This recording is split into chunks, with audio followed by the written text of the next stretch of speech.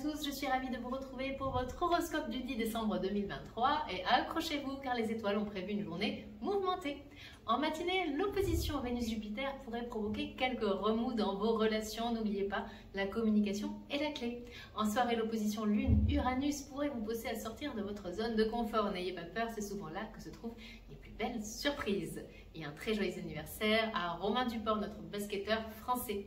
Romain, cette journée pourrait être un véritable match de basket avec ses rebondissements, ses moments de tension. Mais n'oubliez pas, c'est souvent dans l'adversité que l'on marque les plus beaux paniers. Alors à tous et à toutes et à toutes.